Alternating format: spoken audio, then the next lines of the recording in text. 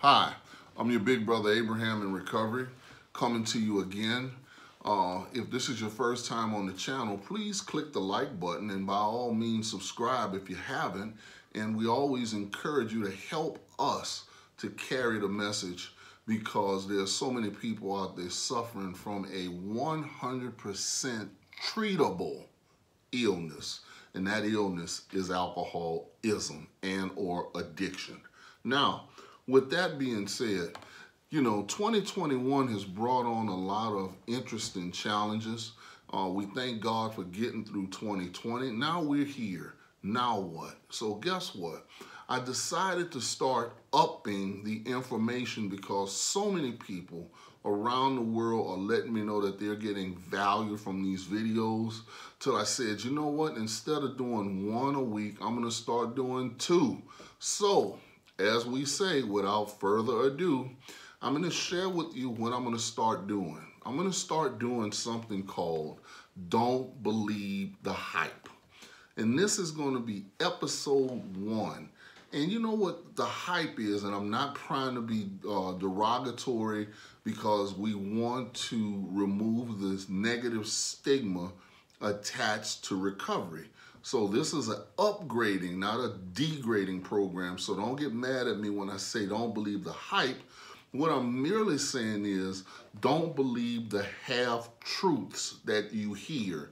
And a half truth is a whole lie, right?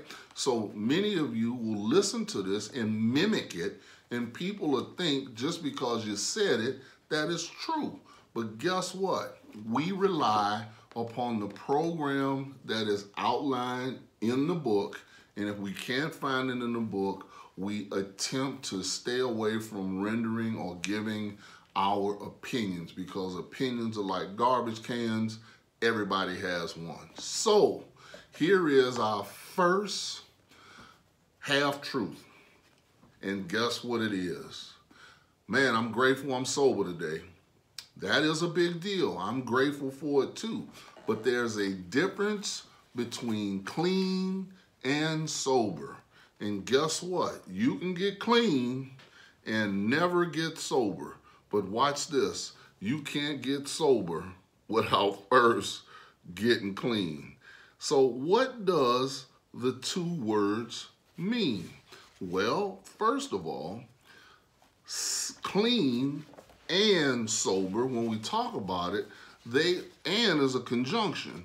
It ties two statements together. I was just looking for something in my book, right? It ties two statements together. So therefore, clean cannot mean the same thing as sober. So let's look at what clean means because many people believe, well, thank God I'm sober. And I get that. If that's where you want to remain, I get that. But notice, if that was the goal and or the message, it would have been put in the front of our book. You remember the story of how many thousands and men, thousands of men and women have recovered from alcoholism? Notice what it doesn't say. The thousands of men and women who have gotten clean and sober. So, the first half truth is Roman numeral page 30, XXX. Let's look at what clean is. One, two, three, four, five. The fifth paragraph. Read the last three or read the last line of that paragraph. The only relief we have to suggest is entire abstinence. So guess what clean is? Entire abstinence. But watch this. I'm not just promoting clean. That's a grateful thing. But notice what the half truth is.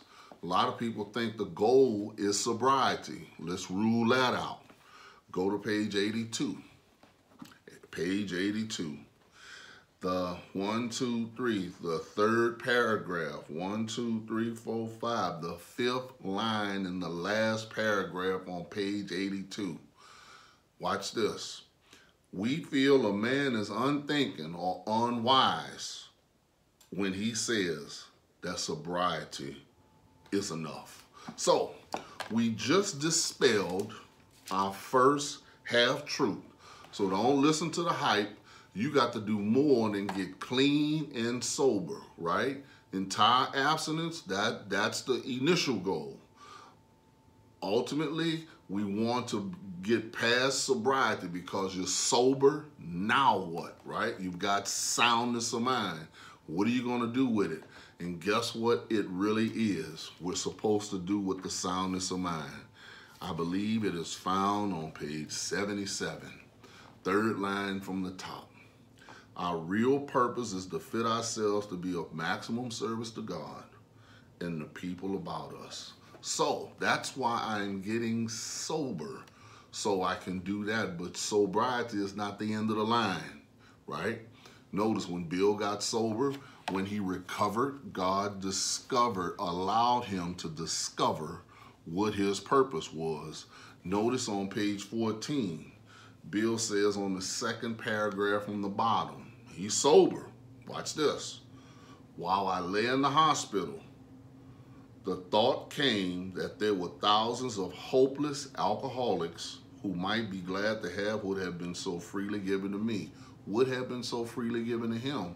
Read the story. He went from being hopeless to finding hope. Perhaps I could help some of them. They, in turn, might work with others. So, we have just done our first Don't Believe the Hype, uh, Half Truth, in the big book. And the half truth is, I'm just glad to just be sober. We know that it's something that lies beyond that, a fourth dimension that we can be catapulted into. So, this is your big brother Abraham again. Subscribe, press the like button, send it to some of your friends, and I look forward to seeing you really, really soon. Hang in there, stay quarantined, talk to you. Bye.